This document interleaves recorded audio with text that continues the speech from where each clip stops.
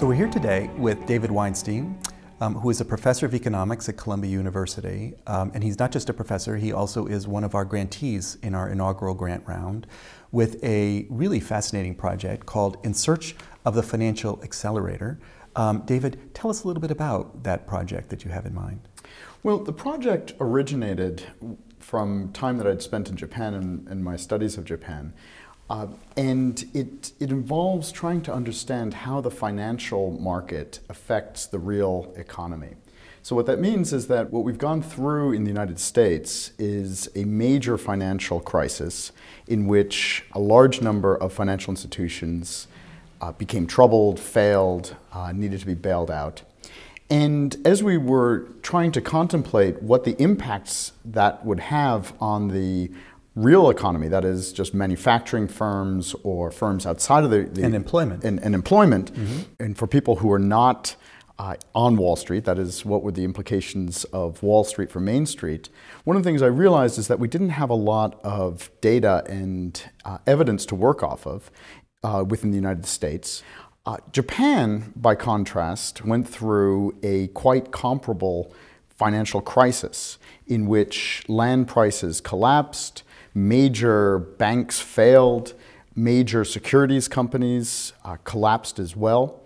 And Japan could provide us with a lot of information about what happens during a financial crisis to firms, to workers, uh, and to the, the economy more broadly. Now, one of the reasons that Japan is such a great case is not just that it had a, a crisis, but that they have this incredible data there that you're, that, you're, that you're exploiting. Tell us a little bit about that data set.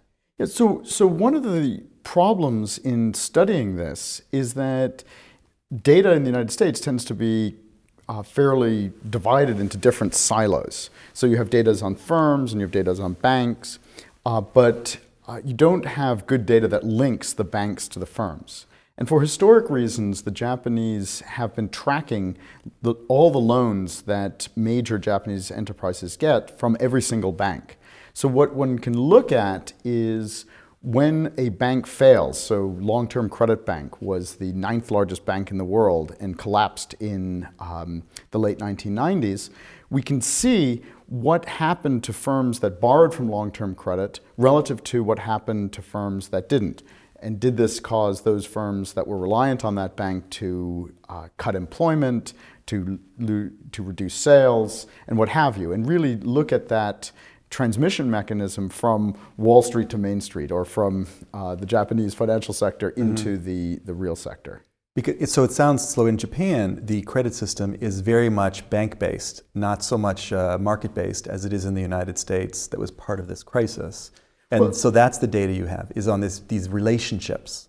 Yeah, although, although it is on these relationships, yeah. um, but uh, it's important to remember that, that by the 1990s, the Japanese had also uh, liberalized their equity and bond markets so that uh, there were active uh, securities markets, uh, somewhat similar to what we saw in the United States. Mm.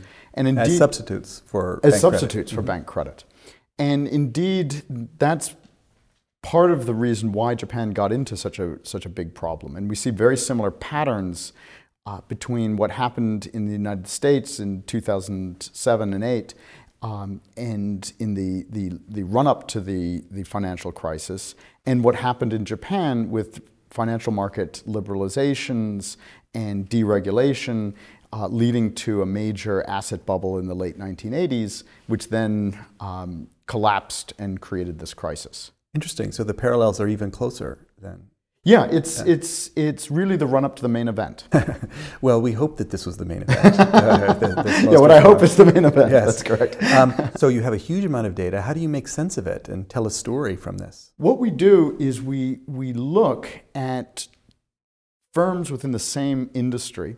So, for example, we may look at firms in the automobile sector, and you'll have Toyota and you'll have Nissan and uh, Honda, et cetera. Some of those firms will be reliant on banks that are uh, relatively healthy, and others are going to have been receiving loans from banks that were unhealthy. And then the trick is to look at when a bank becomes unhealthy, what happens to the sales and employment and investments by the firm that is related to that bank. And so what we're looking at concretely is if Toyota was reliant on Sakura Bank, uh, that bank no longer exists. When Sakura Bank runs into trouble, do we see Toyota sales and employment fall faster than the sales and employment of, say, Honda, which might be reliant on a healthy bank? Mm-hmm.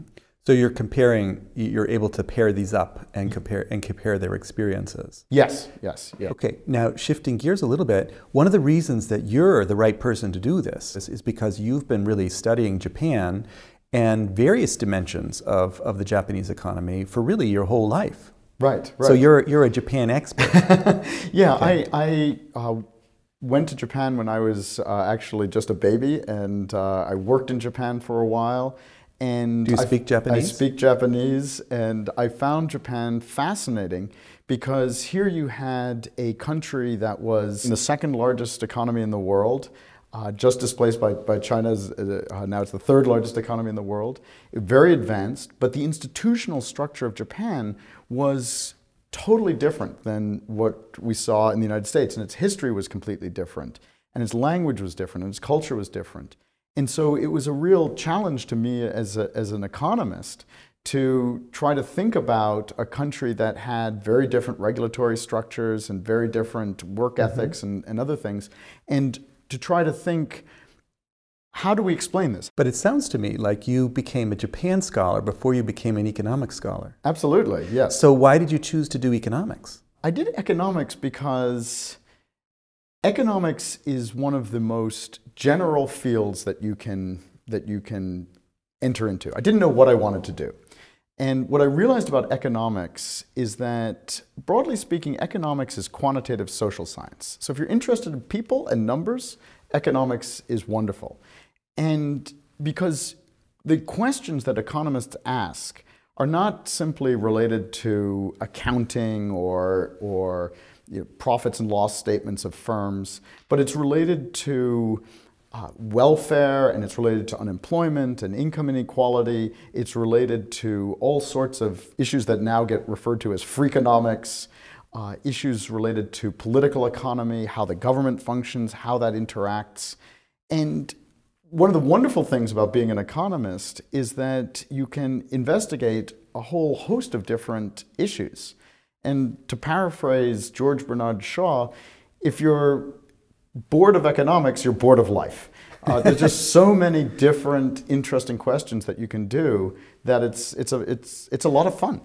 Well, you're, you're an exemplar of that willingness. I mean, you, you say this is economics, but in a way, there's a natural interdisciplinarity to this that comes from being interested in, in a country instead of a method, okay? Leads you to naturally be choosing whatever problems are, are there in Japan. Yeah, and absolutely, and and and one has to be interdisciplinary because it for a lot of questions, it's really important to read historians or political scientists or environmental studies, ecological studies, or reading um, uh, the the work of of of um, military historians or, or military leaders. Um, in some work I've done on, on, on, the Second World War. So that just feeds into the to the mm-hmm. analysis. Mm -hmm um, very naturally. And that's also part of the fun because you know you can choose a project and uh, suddenly you're working on World War II and you're reading about the bombing of cities, and then the next day you're you're you're working on another project where you're looking at um, the purchases of particular barcoded goods by particular households. And and it's it's amazingly interesting and rich. And another feature of being an economist is that the field itself is still in its relative infancy. So it's only been about a hundred years or so that we've been doing fairly detailed uh, mathematical modeling, and we don't have the answers to a lot of the questions. And in some sense, that makes economics really interesting because you can make really big contributions. Whereas I think in, in more developed fields, so I think about physics, it's much harder to make the next big contribution because there's so much history of, of work in the area. You're, you're, people have been working with these models at least since Newton. um, in a very systematic way. And so the, the, it, necessarily the questions tend to be much smaller than we have uh, in economics. Well, it sounds to me like you're having a hell of a lot of fun, okay, in this in this kind of uh, research trajectory that you're on. Yeah, and it's amazing I get paid. Yeah. and we're paying you. So we're looking very much forward to the results of your next project, and, and hopefully it will shed some light on these kinds of problems and what we can do about them going forward. And so just welcome um, to the INET Economists Group. Thank you very much. It's, a, it's an honor to be a member.